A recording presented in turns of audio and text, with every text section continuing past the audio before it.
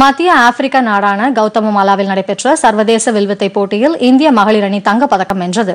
இந்திய அணியில் தீபிகா குமாரி அங்கிதா பகட் மற்றும் கோமாலிகா பாரி ஆகியோர் இடம்பெற்றிருந்தனர்.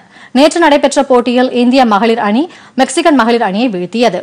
இதன் மூலம் வில்வித்தை போட்டியில் இந்தியா ஏழு ஆண்டுகளுக்கு பிறகு மீண்டும் தங்கப்பதக்கம் என்று சாதனை படைத்துள்ளது. மற்றொரு கலப்பு பிரிவில் இந்தியாவின் அட்டானுதாஸ் மற்றும் அங்கிதா பகத் இணை அமெரிக்காவை ஆறுக்கு இரண்டு என்ற புள்ளி கணக்கில் வீழ்த்தி வெண்கலப் பதக்கம் வென்றுள்ளது.